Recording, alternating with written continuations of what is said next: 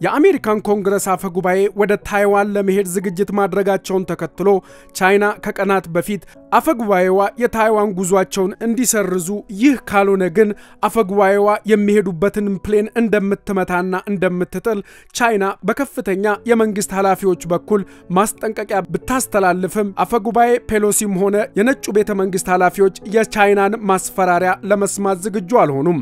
ይህንንም ተከትሎ መላው ዓለም የፔሎሲን ጉብኝት በተለይም ወደ ታይዋን የሚያደርጉትን ጉዞ በጉጉት ተከታትሎታል። ፍላይት ራዳር 24 በመባል የሚታወቀውና የብዙ አውሮፕላኖችን የበረራ ሁኔታ የሚከታተለው ተቋም እንደተናገረው የካሊፎርኒያዋ ዲሞክራትን የጫነው አውሮፕላንን ወደ 700 ሺህ የሚጠጉ ሰዎች አውሮፕላኑ የሚሄድበትን አቅጣጫና ሁኔታ በቀጥታ በኢንተርኔት ተከታትለውታል።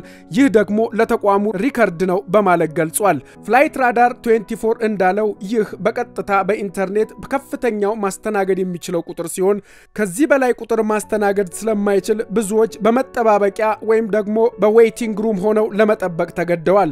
ይህ ሁሉ ተከታታይ እንግዲህ ቻይና እንዳለችው የፔሎሲን አውሮፕላን ስታጋይ በቀጥታ ለማየት የተዘጋጀ ነበር። የፍላይት ራዳር 24ን መረጃ ይዘን ነገሮችን ስንመለከት 700 ሺህ የሚሆን ህዝብ ቻይና እንዳለችው የፔሎሲን አውሮፕላን ስታጋይ በቀጥታ በኢንተርኔት ለመከታተል የተዘጋጀ ነበር።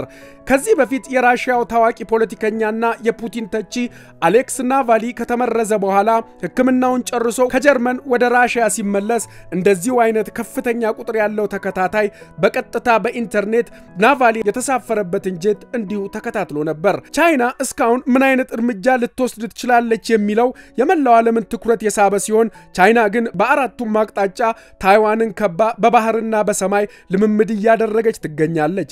የታይዋን የመከላከያ ኃላፊዎች እንዳስታወቁት ቻይና ትላንትና ብቻ 27 ጊዜ የታይዋንን የአየር ክልል ጥሳ ገብታለች። ይህም ትልቅ ስጋትን በአካባቢው ላይ ፈጥሯል። ፔሎሲ በተደጋጋሚ ቻይናን የሚቃወሙ አቋሞችን በመውሰድ የሚታወቁ ሲሆን እንደ አውሮፓውያኑ አቆጣጠር በ2019 በሆንግ ኮንግ ቻይናን በመቃወም የተካሄደውን ከፍተኛ ህዝባዊ ተቃውሞ በማወደስ ከአሜሪካን የሰላ ኃላፊዎች ቀዳሚውን ቦታ ይይዛሉ። ፔሎሲ ትላንትና የታይዋንን ህግ አውጪዎችን ጨምሮ ከፍተኛ ኃላፊዎችን ካናገሩ በኋላ የታይዋንን ግዛት ለቀው እንደወጡ ዓለም አቀፍ ሚዲያዎች የዘገቡ ሲሆን ቻይና ምን ታደርጋለች የሚለው ጥያቄ በተለይ ለታይዋናውያን በፍርሃትና በኩራት መካከል ሆነው እንዲጠብቁ አድርጓቸዋል። መረጃዎች እንደሚጠቁሙት ብዙ ታይዋናውያን ቻይና ወረራ ትፈጽማለች ብለው አይጠብቁም። ምክንያቱም ጦርነት ከተጀመረ ለራሷ ቻይናም የሚበጅ ስላልሆነ ነው ይላሉ። በሌላ በኩል ራሽያ ዩክሬንን እንዴት አዘናግታ እንደወረረች ተሞክሮን በማሳት ቻይና በማንኛውም ሰዓት ታይዋንን ልትወር ትችላለች በማለት ለቻይና ወረራ ዝግጁ መሆን ጠቃሚ እንደሆነ የሚጠቅሱ ታይዋናውያንም ተበራክተዋል።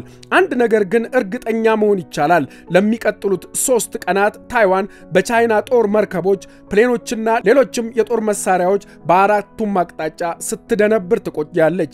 ይህ በራሱ ከባድ እንደሆነ ለመገመት የቻይናን ጦር አቅም ማወቁ በቂ ነው ይላሉ የፖለቲካ ተንታኞች። አርትስ ምልከታ